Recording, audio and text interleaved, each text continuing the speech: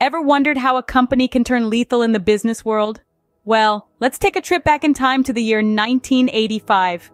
That's when Lethal Company first sprang to life, thanks to the visionary entrepreneur Jane Lethal. In its early days, it faced a challenging business landscape, but it was their unique approach that set them apart.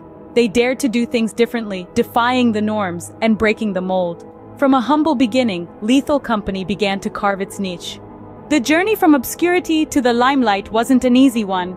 Lethal Company had to navigate through the dense forest of competition, using innovative strategies to carve out a distinct path. They chose to focus on quality over quantity, creating products that were not just good, but exceptional.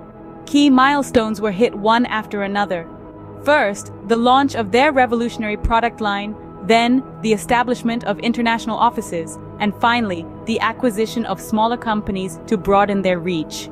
The expansion didn't stop at borders. They ventured into new markets, fearlessly taking on challenges and turning them into opportunities. And so, Lethal Company didn't just grow, it evolved, morphed, transformed. It was no longer a small player, but a game changer. What makes Lethal Company still lethal in today's cutthroat market, one might ask?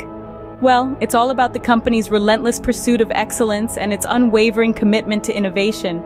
Lethal stands tall in the market today, revered for its top-notch products and services that have transformed the industry. Its market reputation, unparalleled. Its key products, revolutionary. Lethal's impact on the industry is akin to a tidal wave, reshaping the landscape and setting new standards. The company's future plans are just as ambitious. With eyes set on exploring uncharted territories and breaking new grounds, Lethal continues to redefine the industry's norms. Lethal Company, a journey from obscurity to prominence, a name synonymous with innovation and resilience.